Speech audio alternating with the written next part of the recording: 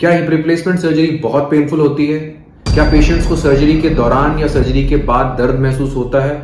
या इतना दर्द होता है जो कि बर्दाश्त नहीं होता? आज के इस वीडियो में मैं आपको जवाब दूँगा इसी क्वेश्चन का। हेलो फ्रेंड्स मेरा नाम है डॉक्टर पंकज वलेचा और मैं दिल्ली में एक hip and knee replacement surgeon हूँ। और मैं अपने वीडियोस के ज़रिए उन पेशेंट्स को जिनको हिप आर्थराइटिस का प्रॉब्लम है, उनको एजुकेट करने की कोशिश करता हूँ ताकि वो अपने लिए सही डिसीज़न ले सके। पिछले 19 सालों में हम 3000 से भी ज़्यादा हिप और नी प्रॉब्लम के पेशेंट्स का इलाज कर चुके हैं और वो सक्सेसफुली अपनी नॉर्मल लाइफ में वापस जा चुके हैं। फ्रेंड्स जब भी कोई सर्जरी होती है तो हमें इस चीज़ के लिए अपने आप को मानसिक रूप से तैयार करना चाहिए कि थोड़ा बहुत दर्द तो होगा। लेकिन एडवांस टेक्निक्स के चलते मॉडर्न टेक्निक्स को यूज़ करते हुए इस समय पेशेंट्स को बहुत कम दर्द महसूस होता है।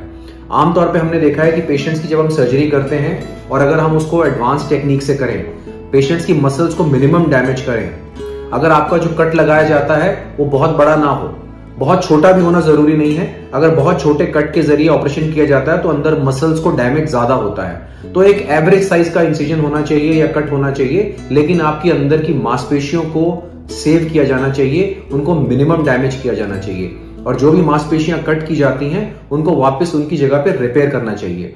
ऐसा करने से पेशेंट्स को हिप की फीलिंग भी नेचुरल आती है और उनको ऑपरेशन के बाद दर्द भी कम होता है।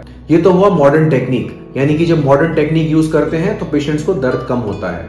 नंबर दो पे आता है कि आपकी लेग लेंथ कितनी है। इसका मतलब है कि अगर आपकी टांग ऑपरेशन के बाद बहुत लंबी हो गई है तो आप ज़्यादा दर्द महसूस करेंगे, क्योंकि मांसपेशियों में ज़रूरत से ज़्यादा खिंचाव आ जाता है और उस खिंचाव के चलते पेशेंट को हिप को मूव करने में तकलीफ़ होती है, खड़े होने में तकलीफ़ होती है, बिस्तर में करवट लेने में तकलीफ़ होती है और दर्द ज़्यादा होता है। तो जब हम आपके हिप को बैलेंस करते हैं, आपकी लेग्स को बराबर रखते हैं, यानी कि आपकी दोनों टांगों की लंबाई इक्वल हो जाती है तो पेशेंट्स को इतना दर्द महसूस नहीं होता रादर उनको अच्छा महसूस होता है, क्योंकि जो अंदर आपका हिप का जोड़ खराब हो गया था, उसको अब नए जॉइंट से रिप्लेस किया जा चुका है।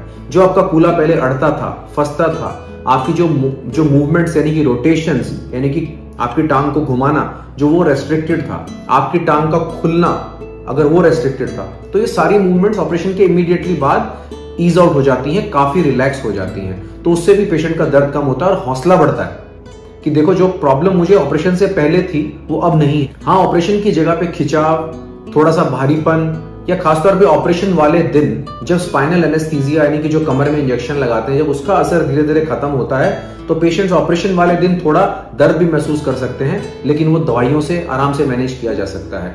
और ऑपरेशन के अगले दिन से पेन डिक्रीज होना शुरू होता है पेशेंट को कॉन्फिडेंस आना शुरू होता है, और जब वो पहली बार उठ के चलते हैं, तब उन्हें पता लगता है कि हाँ मैं पहले से बेहतर महसूस कर रहा हूँ चलने में। तो ये लेके आता है हमें तीसरे पॉइंट पे, जिसका मतलब है कि अगर आपकी बोन क्वालिटी अच्छी है और आपका इम्प्लांट अच्छा यूज़ किया गया है और उसको परफेक्ट पोजिशन में डाला गया है तो भी आप अपने कूले को लेके बहुत फ्री महसूस करते हैं। और ऐसे पेशेंट्स को हम पूरा वज़न डाल के चलने के लिए एनकरेज करते हैं।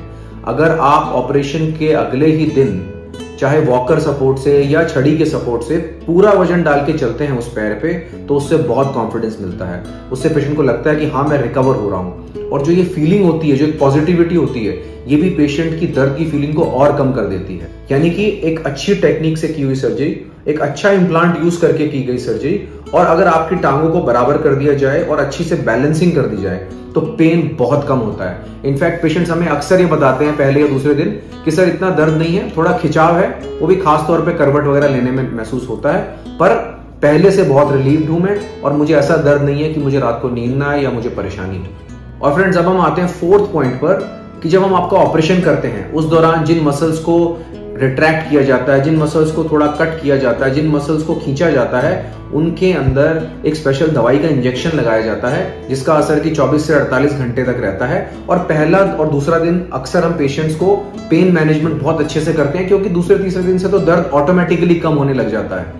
तो उस इंजेक्शन के लगने से भी पेशेंट्स को आसपास के एरिया में काफ़ी आराम रहता है, और वो पहले एक दो दिन उस दर्द को महसूस नहीं करते हैं, जो कि पेशेंट्स को हो सकता है अगर वो इंजेक्शन ना लगाया जाए। तो ये होती है हमारी फोर्थ टेक्निक जिससे कि हम मॉडर्न हिप रिप्लेसमेंट सर्जरी में पेशेंट के पेन को ना के बराबर रखते हैं पेशेंट के पेन को बियरेबल रेंज में रखते हैं पेशेंट के पेन को उस रेंज में रखते हैं जिसमें कि वो आराम से बर्दाश्त कर सकते हैं, अपना काम कर सकते हैं, करवट ले सकते हैं, करवट लेके सो सकते हैं, बैठ के खाना खा सकते हैं और उठ के चल सकते हैं, खुद से वॉशरूम जा सकते हैं।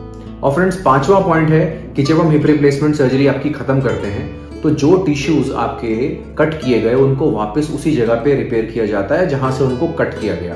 और यही नहीं आजकल हम अपने 90 प्रतिशत मरीजों का ऑपरेशन स्टिचलेस तरीके से करते हैं, यानी कि बिना टाका लेके करते हैं, यानी कि जब आपकी स्किन को क्लोज किया जाता है, आपके ऑपरेशन को बंद किया जाता है तो उसके ऊपर टाके नहीं लगाए जाते, या फिर कहा जाए तो घुलने वाले टाके लगाए जाते हैं, जिनको कि बाद में रिमूव करने की ज़रूरत नहीं पड़ती। बहुत से पेशेंट्स हमें कहते हैं कि, सर, जहाँ टाके लगे हो, ना वहाँ खिंचाव ज़्यादा महसूस होता है। अक्सर पेशेंट्स अपने मन में सोचते हैं कि जब टाके निकल जाएँगे तो दर्द में आराम हो जाएगा, क्योंकि टाकों के सूखने से खिंचाव ज़्यादा महसूस होता है। तो हम अपने 90 परसेंट पेशेंट्स को घुलने वाले स्टिचेस लगाते हैं जो कि स्किन के बाहर नहीं होते और उनको रिमूव नहीं करना पड़ता।